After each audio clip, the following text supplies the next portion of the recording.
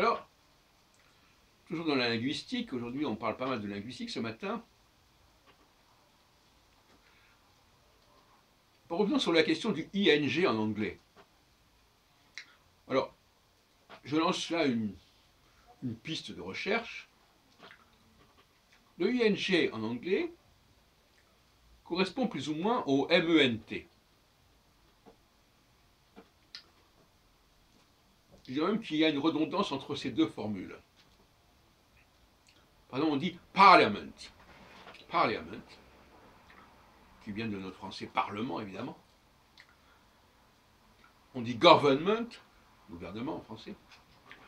Et on pourrait aussi dire governing, governing, the governing.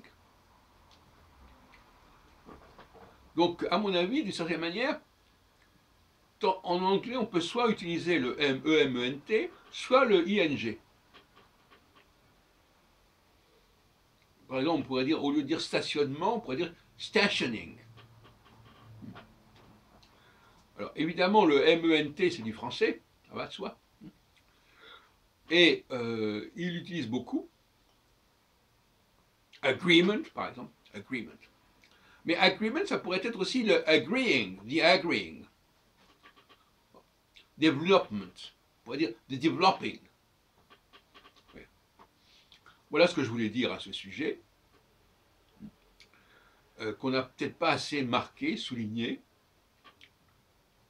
C'est que, là, il ne s'agit pas de l'adverbe, hein, il ne s'agit pas du problème de l'adverbe en français qui aussi termine par MENT. Ça, on l'a déjà abordé par ailleurs. Hein. Euh, quand je dis gentiment, ça n'a rien à voir avec le Parlement. C'est deux façons en MENT, mais qui n'ont rien à voir, apparemment. Ce qui crée d'ailleurs une certaine confusion. Les Anglais, eux, par contre, ils ont résolu le problème de l'adverbe en mettant des Y, LY, pour marquer l'adverbe. Activement, ça devient actively, LY. Pourquoi? Par exemple, gentiment, gently.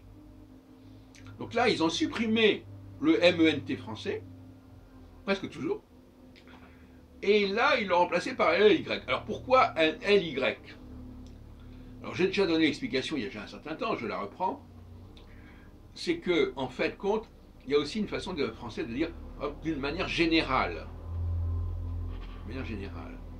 Et dans ce cas-là, euh, si on supprime le mot manière, ou façon, on a général.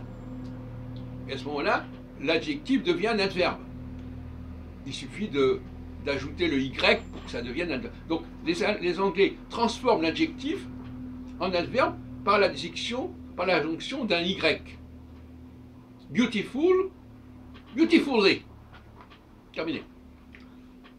Parce que, en réalité, il y a le mot d'avant qui a été sauté. Il faut dire une beautiful manner, une façon agréable. Bon, si on supprime le mot façon, on a agréable, agreeably.